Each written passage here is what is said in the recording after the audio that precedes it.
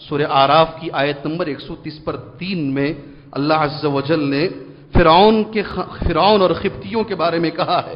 फ़ारसलना अलैहिमुत्तूफ़ान वलजरात वलकुम्मल वद्दफादिअ वद्दम आयात मुफस्सलात वद्दम आयात मुफस्सलात फस्तकबरू वकानू कौमम मुजरिमीन।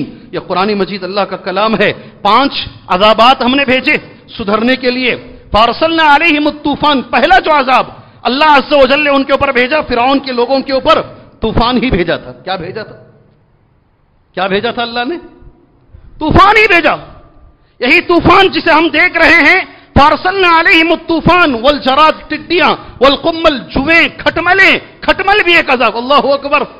खटमलों का ज़्यादा होना भी एक अजाब वल कुम्मल वफादिया, मेंढकों का ज़्यादा होना, खून का ज़्यादा हो जाना यह भी अल्लाह का अजाब। कसरत अमवात, ये अल्लाह का अजाब। दुश्मनों का तसलुत ये अल्लाह का अजाब। अमन का खत्म हो जाना, अल्लाह का एक अजाब है, समझो इन अजाबात को।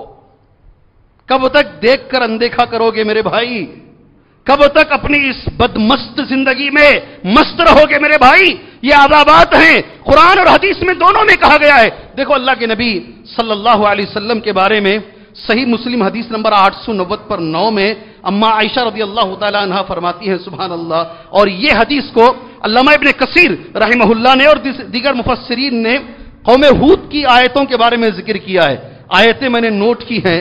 आयतें कितनी अच्छी हैं, गौर करके देखो। फलम्मा राह आरिद मुस्तकबिल अवदियतिहिम कौम हूद के बारे में है।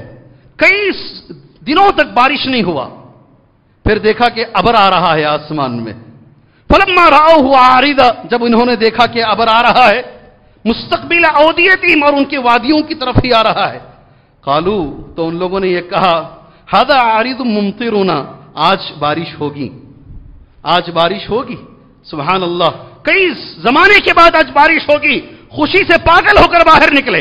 हादा आरिद होना अल्लाह ने जवाब दिया, बल हुआ मस्ता जल तुम भी ये वो चीज़ है जिसकी तुम जल्दी कर रहे थे नबी के सामने। रेहन फीहा अजाबुन अलीम। ये ऐसी हवा है जिसमें अजाब भी है। अल्लाह अकबर। ये बादल जो देख रहे हो, ये ठंडी हवा नहीं है। ये ऐसी हवाएँ हैं जिसमें आजाब भी है। इस आयत की रोशनी में मेरे भाइयों, अम्मा आयशा रदी अल्लाह तला मैंने पूरी हदीस नोट की है। कुछ लेकर जाओ, नहीं लेकर जाओ, इस हदीस को इस मस्जिद से, इस जुमा से ज़रूर लेकर जाओ। इनशाला और याद करके जाओ। कुछ लेना, लेकर जाना है। जुमा में ऐसे ही आए बैठे सुबहान अल्लाह ऐसे ही उठकर चले गए, नहीं। कुछ लेकर जाओ यहाँ से। अनायशा जोज नबी सल्लल्लाहु अलैहि वसल्लम, हज़रत आयशा, जो नबी सल्लल्लाहु अलैहि वसल्लम की बीवी हैं, वो रिवायत करती, कान रसूलुल्लाह सल्लल्लाहु अलैहि वसल्लम इदा कर यौम वल गैम और फजालिक फ़ी वजही, अकबल व अदबर। ये नबी का मामूल। जरा हवाएँ चल रही हैं, ज़ोर से।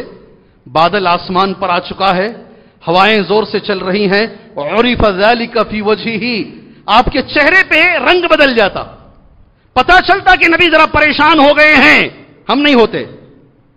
हम नहीं होते हैं, मगर अल्लाह के रसूल के बारे में यह कहा जा रहा है, जरा हवाएँ देखते, जरा बादल को देखते आसमान के ऊपर और फजाली कफी वजह ही दूसरी एक रिवायत में है, उसमें मुतगैरन वजह, चेहरे का रंग उड़ जाता। और एक लफ्ज है नबी के बारे में, अकबाला व अदबर। अकबाला व कभी घर के अंदर जाते, कभी बाहर आते, कभी अंदर जाते, कब करता है आदमी ऐसा? आदमी ऐसा कब करता है? अंदर और बाहर, घर के अंदर और बाहर जाते। अम्मा आयशा रदी अल्लाह तला पूछती हैं, अल्लाह के रसूल सल्लल्लाहु अलैहि वसल्लम, हवाएँ जब चलती हैं तो लोग खुश हो जाते हैं ठंडी हवाओं को देखकर मैं आपको देखती हूँ, आप परेशान हो जाते हैं। अल्लाह के नबी सल्लल्लाहु अलैहि वसल्लम, नबी का जो लफ्ज है, वो मैंने नोट किया है। अल्लाह के रसूल सल्लल्लाहु अलैहि वसल्लम ने दो अल्फाज, दो अलग अलग हदीस की किताबों में, ये सही मुस्लिम की हदीस है। इन्नी खशी तो यकून आजाबन सुल्ली ताला उम्मती। मुझे डर है आयशा, कहीं ये आजाब की हवा तो नहीं जो मेरी कौम पर मुसलत की गई है। मैं इसीलिए डरता हूँ। मुझे अफसोस होता है मेरे भाई। हवा चलती है तो नबी डरते अल्लाह अकबर। हवा चलती है तो नबी डरते हैं। मुसलमान जुमा में बैठ के सोता है। अल्लाह अकबर।